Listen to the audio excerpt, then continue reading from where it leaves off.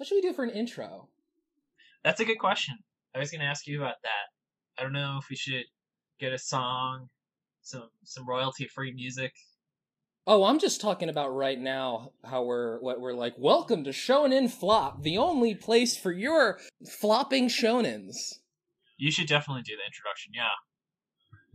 Yeah. Are you gonna do it again, or do I need to edit that in? Welcome to Shonen Flop, your place for flopping shonens. Are we just gonna change it every week? You're like, welcome to Shonen Flop, hit or miss. Bet you never miss. I huh? think we should change it every week. okay. All Welcome right. to Shonen Flop, your place for Optimus Prime blue balls. all right. That's not all. That's the one we're Yeah. taking, I guess. All right. So a little bit introduction. This is Shonen Flop, where myself, David, and my lovely co-host Jordan Hello. we'll be talking about manga that ran in Shonen Jump that wasn't able to make it. For those of you who don't know, Shonen Jump is this humongous manga phenomenon in Japan. It's where a lot of the most popular mangas came out, including Naruto, Dragon Ball Z, and One Piece. Everything you care about that was on Toonami came out of. Exactly. But not everything works out. Not everything gets to run for 10 years and has 600 chapters. Sometimes we have the flops, where maybe they ran for 20 to 60, but they still have their good elements. I mean, some look. Sometimes good things just don't make it for whatever reason, and sometimes, sometimes comics deserve That's to true. get axed. But we'll see if that's the case with Zipman. ah, Zipman. So, for reference, Zipman is set in the near future, where teenage engineer super genius Koshiro Tatara has died, leaving behind his twin brother and main character Kaname. Also, I'm sure I'm mispronouncing lots of things, and please feel free to get into a fight with me on the internet about that. Kaname Tatara, asshole. Yes. Okay, thanks. Um, is a Kaname is a hot-blooded by-the-book shonen protagonist who dreams of being the hero Jackman. Nami gets a text from his brother, though, telling him to meet him. It turns out his brother didn't die, but rather had his consciousness put into a supersuit, which, when worn by his brother, turns them into Zipman, hero of justice. They then have to save the city from an organization of evildoers who also have supersuits, ruled by the mysterious Chairman. You say that like he's a superhero and his name is Chairman. Do we ever actually find out what Chairman's real name is? no, the comic doesn't go know that it far. because it's The only 17 chapters. Yeah. So I will say the first thing I want to say is that this is the comic of Kaname and his brother Elon Musk. yeah, um, pretty much. Coming together to form Hugh Jackman. Um, wow. Okay. no, um, no, but his brother is literally Elon Musk. Yeah, Like the company is called Steel. it, it's true. Um, that reminds me though how in Doctor Stone they actually had the Elon Musk like Cybertruck show up in one of the panels. Oh hell yeah, I didn't know that. Doctor Stone is definitely worth reading. And then uh, in terms of actual like raw information, Zipman uh, started on December 2nd and ended on April 6th, running for 19 issues, producing 17 chapters. It was created by Yusaku Shibata. Let me look at that name to just make sure yes, you I spelled, spelled you it said it on, right. the- on this podcast. I don't. God, Okay. That's surprising. It, it that really is not a long it's run. really not. Um, as I've been looking at some of these series though, so the interesting thing about it is Shonen Jump actually doesn't really get any data for the first eight chapters, so everyone's guaranteed to run for probably about ten because there's a two week lag time. And then the problem is, is they also need to Oh. round it because they need to finish two volumes, which is roughly you know seven to eight chapters. So it makes sense that they said, "Hey, we have to fill up a second book. You know, here, just get to chapter 17." So basically, they axed it as soon as they pretty could. much. Um, yeah, we'll get into the actual popularity a little bit, but that gives us a good segue. of Just kind of the flow of the podcast is we'll start by describing the series, kind of what the setting was like, the characters, what it did well, what it didn't so well, what was some of the potential for the series if it had kept going, Glenn, what would we do? How would we save the comic? how it actually did popularity wise in Shonen Jump, about the author, some miscellaneous thoughts, and then our final verdict if it was a flop or not. So, Jordan, though, how would you describe Zip Man in six words? Oh man. Or less. Um, I would describe it as um. You didn't ask me to do this, so I don't know if this is going to be six words. It's just going to come out the top of my head. Yeah, Um, it's, it's fine. Uh, I would say it's a very bare bones manga that is trying to be very meta. It's a manga that's sort of it's like an action manga that's about action manga almost, except I mean it's specifically about uh like tokusatsu kind of Kamen Rider type Mhm. TV shows, but it's really just it's really about Yeah. like power fantasy and stuff. But if I was to if I was to boil it down, it would be just this a, a shonen a shonen manga done well, but just so bare bones, and there's just not much to it. Yeah. That My heart was was, a lot right more than six words, but your heart was in the right place. Yeah. Which is really it's really the Zip Man way. Okay, Jordan, would you like to go into a bit about the character? Yeah, so we got two we got two major characters. There is Tatara who has resting evil face, I call Yeah. it. Um where he just looks like a bad guy. He's got he's got like scars all over his face and he's just like he looks like um he looks like the coach or no, he looks like the captain from uh, Eyeshield 21. Speaking what I of other good connected it mangas, to. actually, that's why the guy made Doctor Stone. So maybe that's Yeah. just a theme. Yeah, yeah, same writer. Really? I didn't know that. That's why uh, the Eyeshield Twenty One guy cameos in it because there's a little, little joke by the Eyeshield author. 21's great. Um Oh, I didn't know that. That's cool. Um so that Kaname, I I actually really like Kaname as a character. He's um absolutely means well and he's actually very competent, but he just has no he, he worships his older brother, Co- his younger brother. Well, they're twins. I don't think they ever say who was born first. They're twins. Who gives a shit? Um, that's another problem. This manga's kind of unmemorable. Um, and whereas Koshiro, who I mentioned earlier, is basically Elon Musk. He's this young super genius, and the the the kind of the way that this manga wants you to look at it is that Kaname is like this Yeah, incredibly powerful physical force. Like he is super strong. He's um he's always helping people. He is like literally he doesn't belong to one school club because he belongs to all of them because like the baseball team will go out and be like hey kaname we need somebody who's really strong and he'll just do it yeah. They're like he just hits like a home run every Yeah. time. So Kaname is the physical powerhouse, whereas Koshiro is obviously the mental powerhouse. He's just this super genius to an mm-hmm. absurd level. Like, imagine if Elon Musk actually did the things he said he was going to do, and you have Koshiro. But he's also a fucking asshole.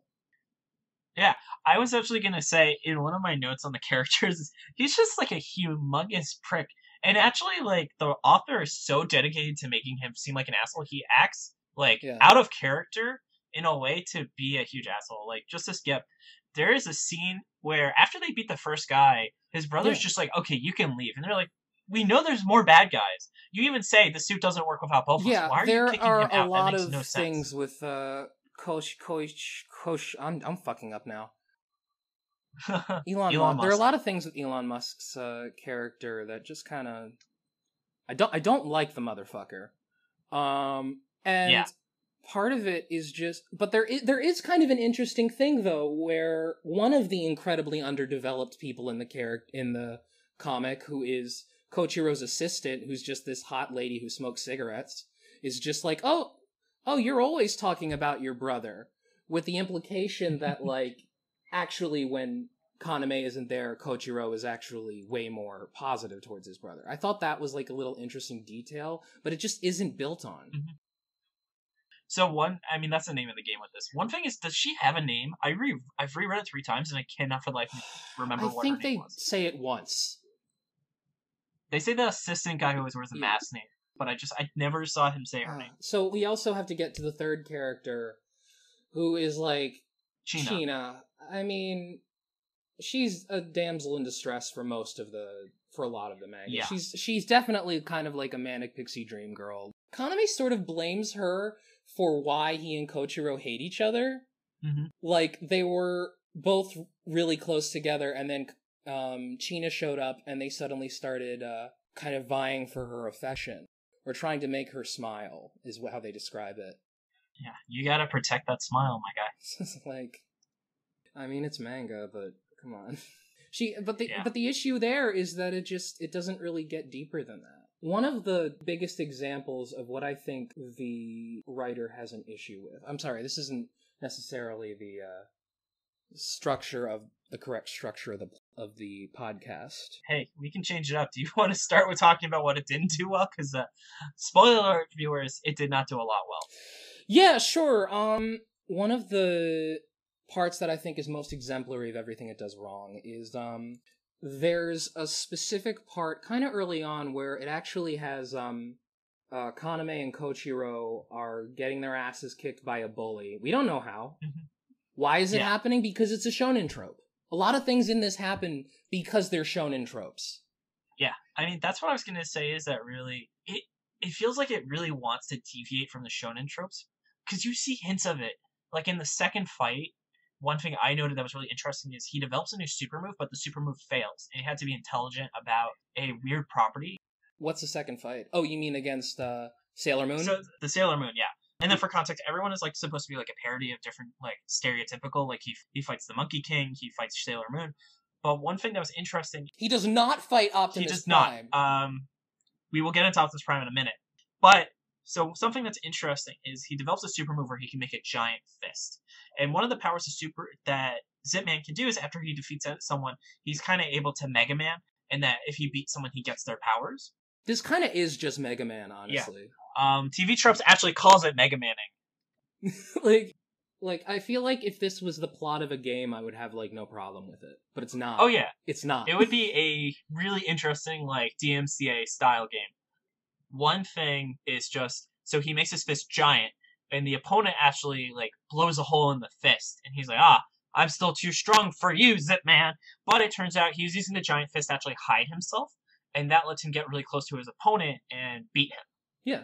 which I thought was actually quite intelligent. But then that level of like intelligence and showing how you have Elon Musk teaming up yeah. with um I don't know what the nickname for the R main character. um. fucking uh, Danny Trejo. Um, You have Elon Musk working with Danny Trejo. oh god, but- I was gonna say Jean Claude Van Damme or something. Well, Danny Trejo's got like all the scars and stuff on you his know what? face. Yeah, let's just go with let's just call him Danny Trejo. Whatever. Okay, so you got Danny and Elon working together. But after that fight, the manga says that was too much effort. We're just gonna have people just fight really hard and not try and be clever about how these moves actually could potentially work. You know what I felt about what I feel about it um Mhm. with how you're talking about how it's like deviating from try- Yeah. it's trying to deviate from shonen tropes. The way that it's trying to do this is by condensing things. So it's Mhm. like, look, I'm not going to sit here and explain to you how this mechanic works. You're reading a shonen manga, you get it. But the problem Mm-hmm. Yeah. with that is that you lose out on the world building that goes along with explaining that you you lose the depth that would be there. And the the author doesn't replace it with anything.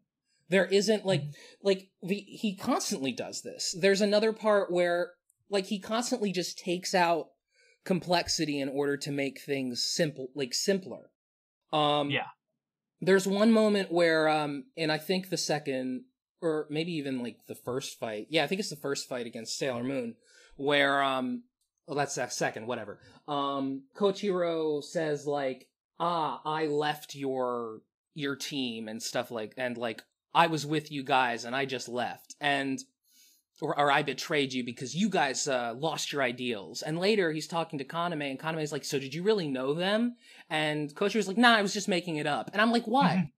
Why? You Mhm. just what you did is you just set up a situation where kochiro could have x additional depth and like a connection to Mhm. like like a further story and then he just took it away or there's Yeah. a, there's another part that's very similar to that that happens shortly after that where they say um kochiro like uh where they say that um they're trying to put kochiro back in his body because kochiro i don't think we mentioned has been put in the jackman suit um Yeah. so they're like we're gonna put you back in your body but the manga starts off with kochiro's funeral so Mhm. Kaname is like, well, we burned your body. And Kochiro says, no, that was a dummy. Why?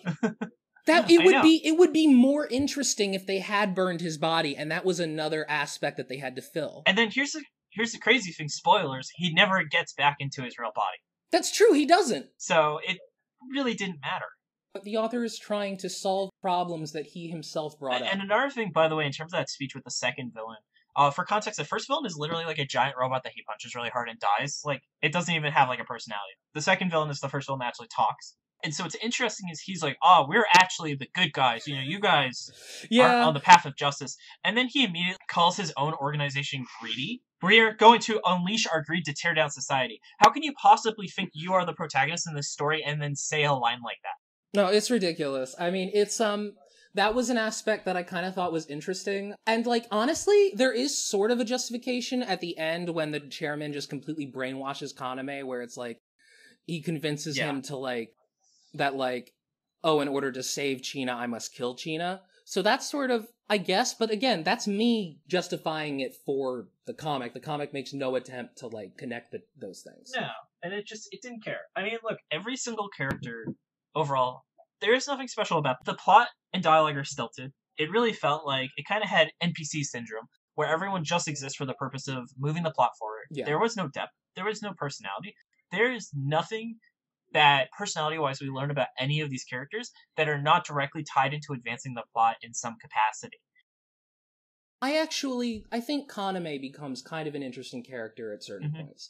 I think he does like the the at the part where he um like one my favorite chapter is actually there's a part where I don't even remember why they had to do this. I just read it. I don't know why they had to do this. I didn't care. Yeah. They had to um they had to like um talk to this girl and like find out how she knew this phantom Yes. cosplayer. It's actually totally out of place because it goes from being like this action manga to taking place in a high school and it's kind of like we have to examine like uh the awkwardness of Kaname of, Mhm. which actually winds up being I I think you agree one of the most interesting parts Yeah, of the I was manga. actually going to talk about that, and I'll expand on it more. Is I think that Yeah. there's a really interesting element because you literally have a case where he has an earpiece with his brother helping him how to interact with people, and so you have to deal with Kaname being the socially awkward guy, but having to socialize because his brother is literally a soul trapped in a robot suit.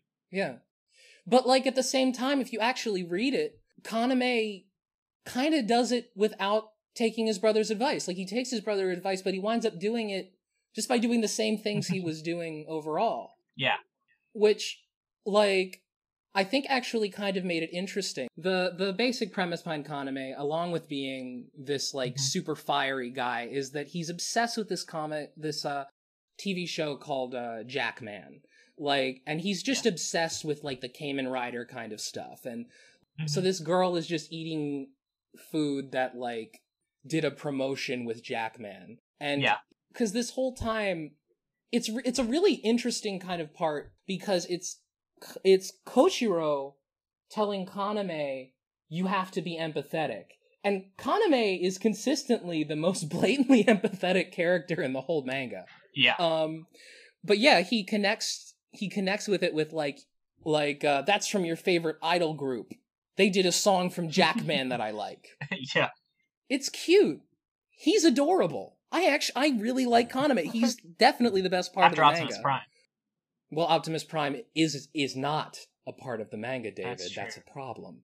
But Yeah, I think ties into another thing. It's just every single other character is so two dimensional. And one thing I've realized as a series is I kind of feel it's like a boss rush because essentially they are taking Absolutely. completely unmodified the Dragon Ball Z method of where you just fight harder and harder opponents, and then you kind of have like a break, and then it, the cycle Yeah. begins again. Yeah. Yeah. And the designs look cool. I think the zipper aesthetic is cool. The chairman looks awesome. What they what he did with the chairman, so like the basic idea with um all of the enemies is they all have kind of this zipper aesthetic where they have like, you know, the zipper teeth going around them. But for the chairman, they swapped the zipper teeth for actual like sharp like animal teeth Yeah. and it's like it's really creepy. Kind of eldritch in a way. Um, yeah, no, it's great, especially because he's like the last guy. But the thing is, it's also my issue with the aesthetic is how could how the fuck were you gonna extend this aesthetic to like 200 chapters? Could you imagine reading chapter 200 of Zipman and we're still facing enemies that are made out of zippers?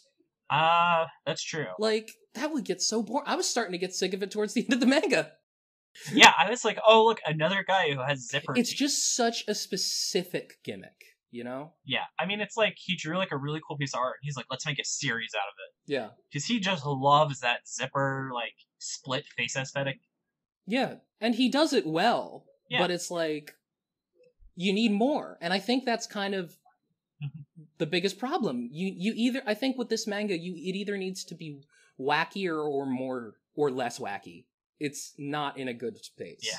And I think you can tell that he wanted it to last for a long time, but he didn't know how because there's just so much artificial padding. And one of the ways he does this is he uses a trope I really hate, which is kind of the like no time to explain, where characters will ask questions and then just conveniently, oh, I just I can't go into detail right now. I'll explain this later. Or like, ah, let me explain things, and then one of the characters just literally dies as soon as he's about to explain something. And you know it was just he didn't know what the explanation was, so he needed to Yeah. give himself more time. And then they just never really are like, okay, well, we just defeat the bad guy. We have time now. Why don't you explain what you were going to explain? And no, they just don't ask again. It just doesn't get explained unless the Yeah. plot needs them to know what exactly is going on. Oh yeah. No, the most blatant example of that though, there's a character named um Mr. D who Yes. looks like he looks like Shade Man from Mega Man except a dragon. Uh huh. Um and the thing about him is he's like I I know his weakness. I will defeat him. Let me go off and fight him. The next panel, Jackman just shows up and he's like and he's and he has Mr. D's weapon and he's like, "Yeah, I killed him." And even the bad even the bad guy he's facing is like, "You already killed Mr. D? You really did Whoa. Whoa, he was talking big shit. I thought he was going to be longer. I thought that was going to take him more time."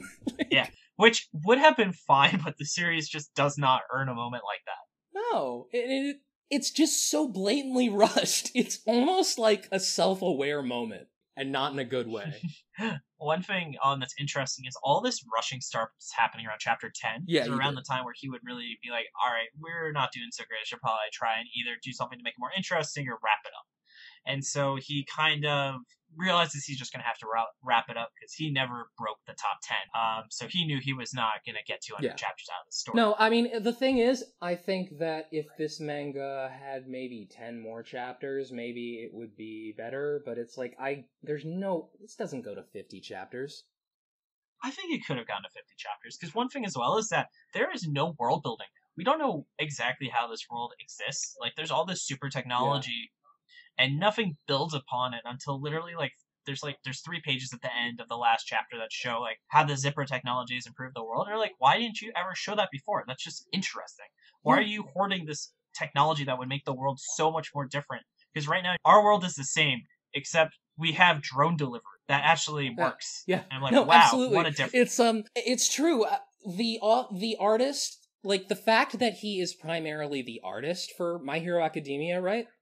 Assistant artist assistant. for My Hero Academia. That makes so much sense because what he is, he's an extremely efficient Mhm.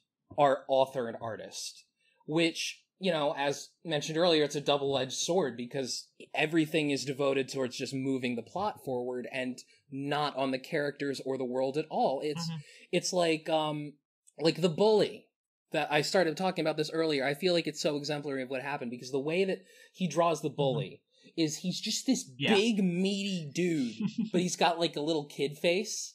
And what it does is it shows you right away, I know what that bully is. I know that he is strong and I understand the dynamic. But the problem is that by doing that, you don't take any time to be like, well, who is the bully? Who's this bully? He's not he's not Yeah. a bully. He's like the bully. That's his whole character. You're not supposed to see a person there. You're supposed to see a representation. A really good example of this is also the fact that their parents just don't matter. His mother is mentioned once, but they're like you never see him like fighting this guilt of knowing his brother is alive. His his his brother literally died what a week ago. Like they don't show his family being destroyed by having their son die, or just I think that would have been really interesting element to be like I know that my brother is alive. I have all of this kind of like morale I could bring to my family, but no, I have to hide it just you know for the for the generic, oh, I've got to keep the secret from my family. There's a difference between being having superpowers and being like, oh, hey, uh, your son That's is still true. alive, by the way. But see, that's the thing is her mom doesn't matter to the plot, so yeah, she doesn't. that's a very good point. That didn't occur to me. Yeah, tell your fucking tell your fucking mom that her son's alive. How about that? Um, which again, My Hero Academia, one of my favorite characters is uh Deku's mom. Oh, also reminds me how the Yeah. super form, the Zep form quad, literally comes out of nowhere. There is absolutely no setup or explanation. Oh, or how that. about the fact that after the time skip, there's a time skip, by the way. Um, Yeah, a- there is, after course. after the time skip, there is a thing where the zipper, like the zipper chairman, the evil zipper chairman sends down like these giant things that like um they're they're basically giant zipper suits that like absorb people and make them become part of them. In other words, literally the thing that happens in Kill la Kill. It, it Mhm. exactly.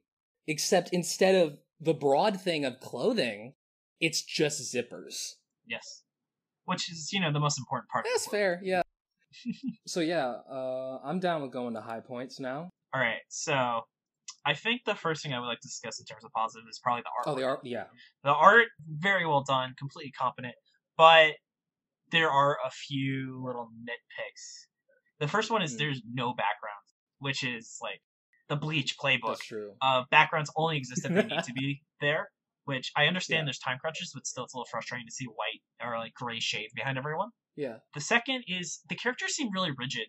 Like everyone always stays on model, but not necessarily always in a good way. Like it's a drawn comic, but it feels like, to be honest, he made 3D models and he's posing them rather than actually drawing things from Yeah. scratch. Which might be what happened. yeah, it's Um, true. That's not a su- that's not a super uncommon thing right now. And then uh, finally, there's just a bad sense of flow in the panels. Like in the first issue, when he does the rocket fist, you don't even know he shot off a rocket. Like his hand is a rocket until you like notice the guy being punched. Like there's just it, was like a an elapse in panels. Like he really was missing one or two panels to show the actual action and impact of it. And it was just by me understanding the tropes, knowing that's what he did. I thought we were talking about the positives right now, David. You're right. You're right. um no but one thing that i really liked was um i just like kaname like when he's talk there's a there's a point where he's where he's talking to um so the sailor moon Yeah. the the sailor moon um showdown which might be the best one partly because you could tell the author wasn't aware that he had to wrap the whole thing up yet Yeah. um so it kind of takes its time it's like a full encounter Mhm. where he encounters this this like mech suit that's shaped like Sailor Moon or Cutie Charm as they call it here. And Kaname after they defeat it it turns out that the person inside of Cutie Charm is a boy. And he's like, "Oh, I don't want anybody to know that uh oh, nobody would like me if they knew that I was actually like a guy inside Cutie Charm." And Kaname is like, "No, I like a guy cutie. Guy cuties are cool." But Cutie would never attack her friend, so you're a bad cutie, so you must. And he explicitly tells him, rewatch all of Cutie again. I demand, like, he, he's like, it's great. It's like, um, if somebody who likes Superman did a bad thing, it's like, you motherfucker, go back and watch Superman again. I also, uh, is it me or did the cutie robot kind of look like Metabee from Medabots? Yeah, I, Okay. yeah, I Okay, saw that note and I get it. I Yeah. totally see it. It's, uh, absolutely. Well, yeah, If that second fight was the quality standard for the series, it might have lasted. To be honest, though, it still Uh, it wasn't would- that fantastic. Like I still dropped Yeah. around chapter seven, eight the first time. it wasn't fantastic, but it was a good. It was good for where it was, and I, you know, you get stuff Yeah. out of it. It was a good. it was a Um, good encounter. let's see what else.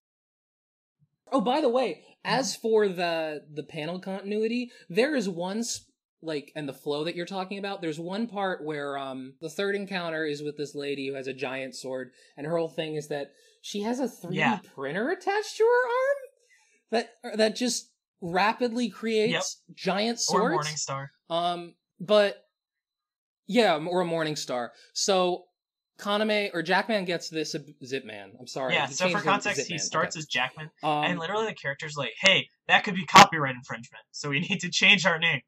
literally, yeah, it's, it's pretty good. It's it's pretty funny. Um, he changes his name to Zipman. Um, in just this very, just this very um ham-fisted metaphor where they show the panels zipping up and it's like I get it man. I get the metaphor. But so um uh oh yeah so he gets um this ability to 3D print weapons and out of nowhere this he just starts throwing lances and there's like very little to tell you they don't explain that you have to look at a previous panel that just shows him reaching into his arm and pulling something out and it's Yeah, a small panel Like the fact that he Mega Man's again, the second fight really shows it, and then they're just like, "All right, clearly we showed you this one time that he could do it in this one particular instance, but Yeah. clearly now he can always do it. And yeah, that you can Mega Man. Um, which I would be fine if they took the time to explain each individual power. Like, if they were like, oh, Mhm. by the way, like, you have to show him learning that, oh, wow, I can throw. They had like Lances. a power acquired, like some sort of generic thing, which a lot of mangas like show as like a joke, but if they had actually just Yeah. done it straight, it it would have helped a lot understand exactly how it works. Man, solo leveling is just so much better than this. It really is. um, in terms of what else does it do well, uh, I actually thought they were clever in that he knew he had to wrap things up, and so rather than skipping a bunch of content, he actually creates the secondary characters that actually have purpose. yeah. in that they do all of it. Like when there's the four bad guys, Zipman takes care of one guy, and then the three other bad guys are just dealt by the side characters. They naturally they don't show anything about it.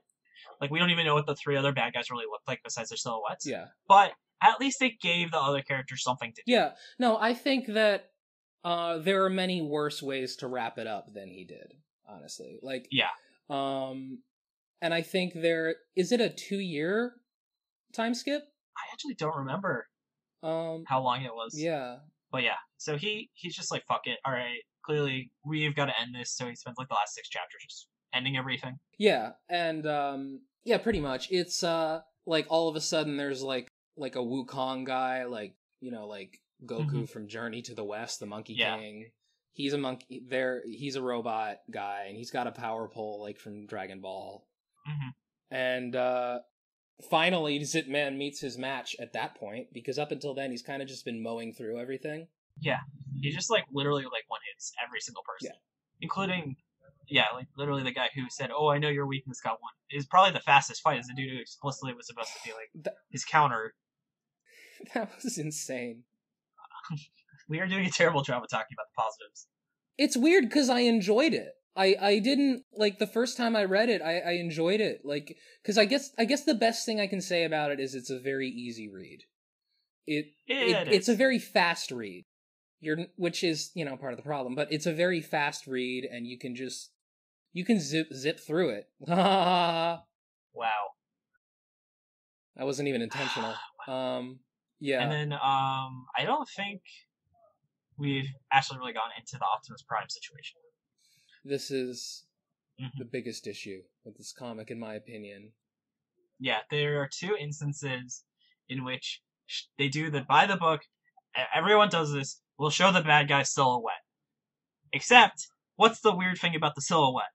One of them's Optimus Prime. Yes. So that's the thing is, it wasn't like it was a joke. They he legitimately was like, yeah, we're gonna make Optimus Prime a bad guy in this comic. There this happens twice. They show him again. Like, yeah. He never shows up. Yeah. The other people show up. He doesn't. It's I have Optimus Prime blue balls. I'm very angry about this. You promised me Optimus Prime. Yeah. You could have had it. You could have had it as a joke in one panel, and then not had him actually fully appear. Yeah, that's the thing. If it was just one panel, I'd Yeah. be like, whatever. when you have two, and one of them is a pretty big panel too, where you just you see him like pretty explicitly. There's no hiding it. I'm not quite sure how he wasn't gonna get. sued. Um, and I was kind of wondering, well, maybe is one of the bad guys like you can kind of argue that it was Optimus Prime, but no, you can't. They just look totally different. It's no, yeah, he lied. yeah. This is um Optimus Prime, his his uh, freestyling cousin. That's fair. Um, well, I mean, the same way that he got away with Sailor Moon. He just makes something that looks almost exactly like Optimus Prime and has its like has Optimus's uh, you know, silhouette or whatever. Or Optimus Prime. Oh, that reminds me. Um, one of the first bad guy, the first main bad guy before the time skip, pulls out the Autobot Matrix of Leadership. Oh yeah, that's a soul stealing device. Yeah, he just Yeah. Like, really? no, I mean, was that supposed to be. Was the Optimus Prime supposed to represent that guy? Because I don't think he was. No, no, because that dude shows up in the same like room Yeah. as the second time Optimus Prime shows up. So I, I just I think because like I said, remember there was gonna be four main like disciples of the chairman, and we only see one of them, and then I think he was gonna be one of the other three. So he was one of the bad guys that was dealt with off screen.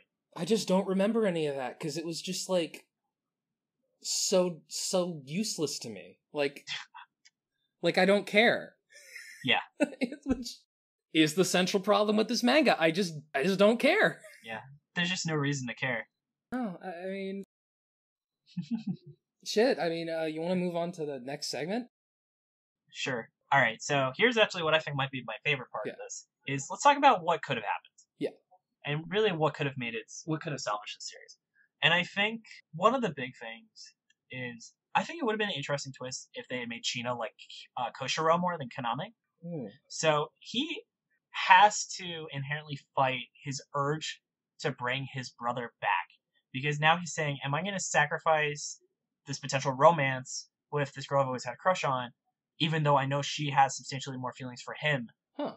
You know, and it just would have added a tinge of selfishness to, is it really, should I really get my brother to get his human body back? Yeah, and one of the well, one of the more interesting parts about the manga is that uh Koshiro views feels the complete opposite way, I think, Mhm. where it's like where it actually turns out that like actually Kaname's the one who always makes China smile. Like he's kind of the Mhm. catalyst for all of Koshiro's views. But Koshiro doesn't give him any of his credit because he's a dirty fucking capitalist pig. God, because we live in a society. Fucking society, David. we'll, be, we'll be getting into that manga soon. Ugh.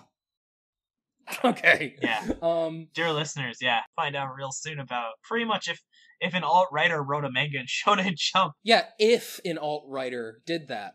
If, right?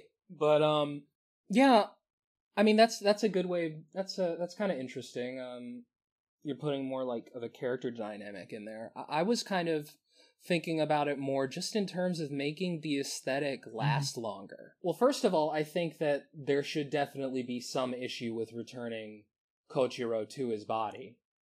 Yeah, like you said, they should have destroyed his body. Yeah. What I think this series kind of needs to do is it needs to get out of the zipper territory. I I think like uh, so I'm a fan of these things called crazy genre shifts. I've told David about it before. It's like my it's like my favorite stupid thing that manga does that I actually really love where you can tell halfway through certain mangas that the author just like shit, this isn't going anywhere and then he just completely changes gears. Yu-Gi-Oh did it. That's probably the most famous example. Mhm. Um Yu Yu Hakusho actually is the most is one of the most blatant ones. Yeah, The author says that no, I no, I planned that the whole time, and I call total bullshit on that. No, you didn't. but no, I was thinking this wouldn't even be that crazy. Um, what he needs to do, I think he should go into space and fight other like uh other teams that are like based on certain like certain aesthetics or something. Just something to vary the zipper shit, you know? hmm yeah. So what I really think if they had really taken on the League of Buttons, the league of the Oh, the man. uh the Velcro squad. yes, or um, the Ziploc Saga really would have hit something different. Yeah, No, I think the Ziploc guy is like um he's a renegade. He's like the rogue. Uh he, he's like a, a Ronin. you know, Ziploc actually sounds like a badass name for like a shonen villain. If you didn't know what a Ziploc was, Yeah, I agree, especially in this manga. actually, yes, I actually hundred percent say if this had kept going, there would have eventually been a villain named Ziploc. There definitely should have been. It's Yeah. time God. for the Ziploc. And they just come kidnap people and put them in the bags. You're like, we're staying fresh. It's just like a wrestling move. He's got him in the Ziploc. yeah. Oh man. Uh, in terms of other things, though, I think they really should have played up the Kaname socially awkward element. Like that whole, in Yeah. terms of crazy genre, what if it really became like the focus of it was him having to act like a normal person for intel and stuff? Because that that story element really did need to exist. You know what? I agree. Yeah, what if this uh what if he went to high school? Fuck it. What if he went to like a high school of other fucking robots? I don't know. I mean, it's this is the assistant Yeah. for My Hero Academia, so Yeah, it's probably true. pull it off. Yeah, well, what if like he's trying to like get this girl to fall in love with him? It shifts into a slice of life where he has to impress this girl, and at night he's trying to solve his brother's mystery while fighting villains. oh my god. Wait a minute. That's that's Yeah. kind of it. That's like kind of the best way to do this where it's mostly where it's mostly a slice of life comic, but then it all Yeah. he's also doing Jackman on the side, but it focuses Mhm. on the slice of life. I think that is actually probably the best way to do that because that was just so much more interesting than the Jackman shit. Oh, and they could have the logo could have been like a heart with a zipper that's like split part of the way, so there's like a instead of like the normal break. Ah. yeah, yeah. Oh man, we should we should sell this one yeah. Shonen It's Jump. called Ziploc. Yeah. God, Ziploc is just such an intimidating name for such a for a fucking household product. If you, if you just have no clue what a Ziploc, you call yourself a warlock? Well, I'm a Ziploc. Shut your trap. oh, oh, man, yeah, it. It's just all the villains are based on containers. You got you got like a military guy, the Jarheads, and then uh bear. You got Bear Trap. Oh, someone's who is like now the Tupperware team. trash trash can villain. We're approaching One Piece level of uh, gang design, which is good. Oh, actually, you know he was also an assistant with Oda, That makes sense. and he worked on One Piece, but clearly he had no influence because he didn't take any lessons.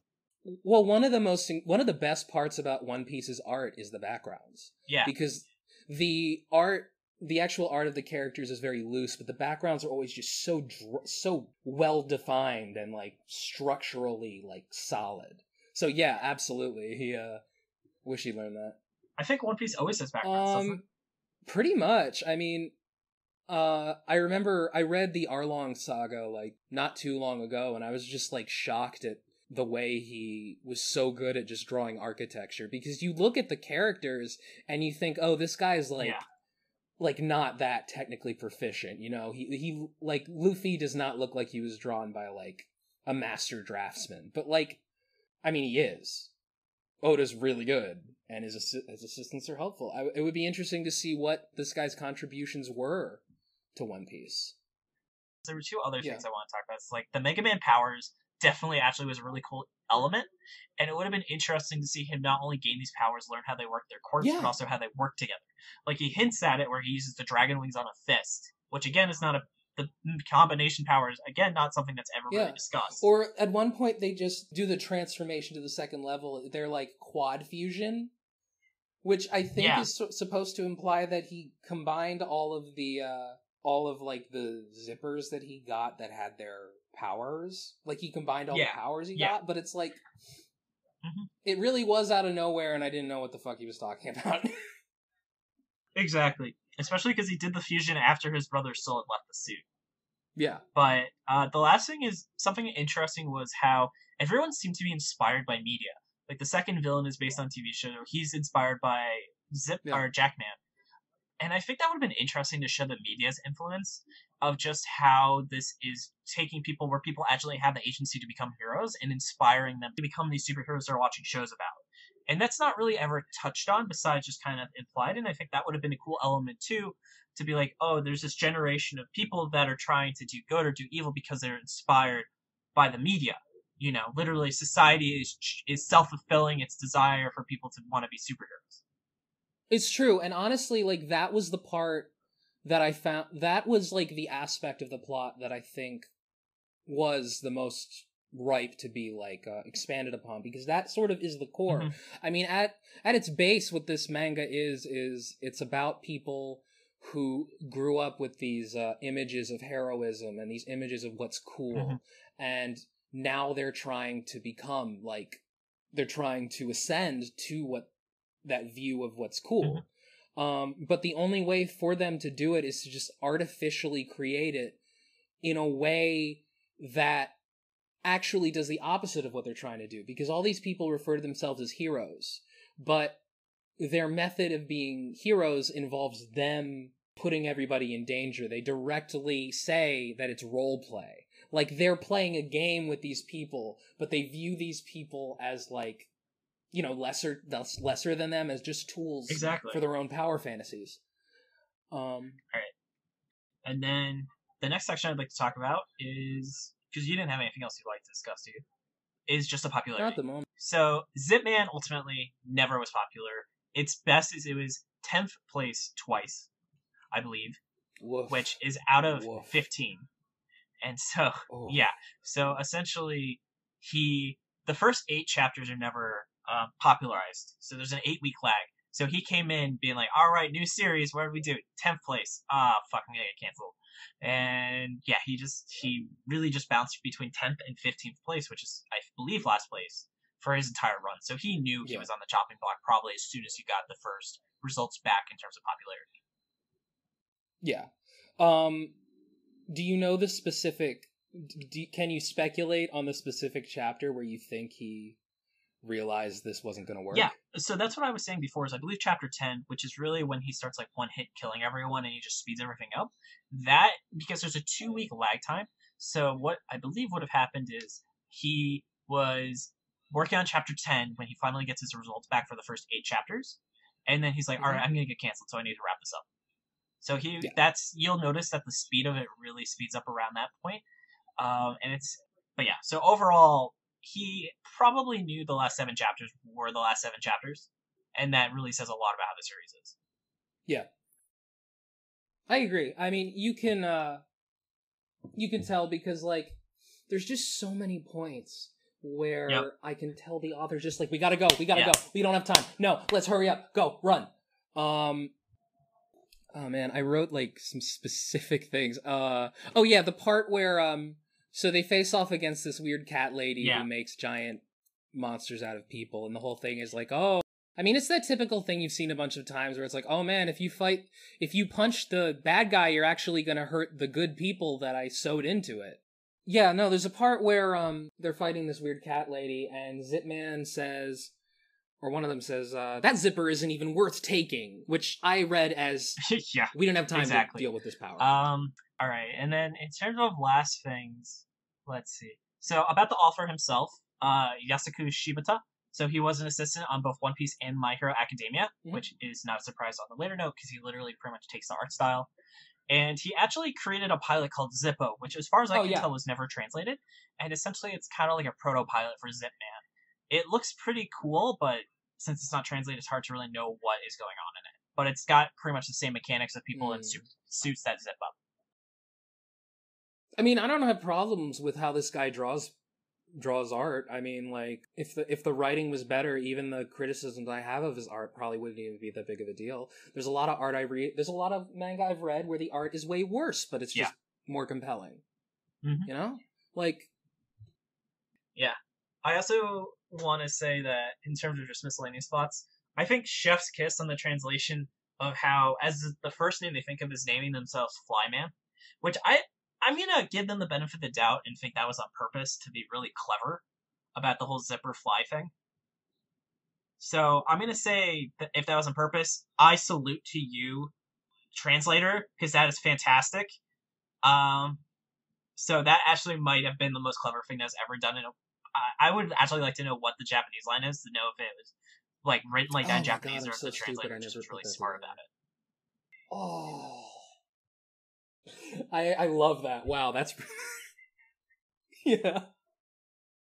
There's a concept called Woolseyism, which is named after a famous translator. For the audience members, essentially it's the idea of a translator adding in their own material in the translation, which helps improve the quality. So these might be jokes or like a pun that doesn't never existed in the original version, but they add it because it just could fit so well into the translated material.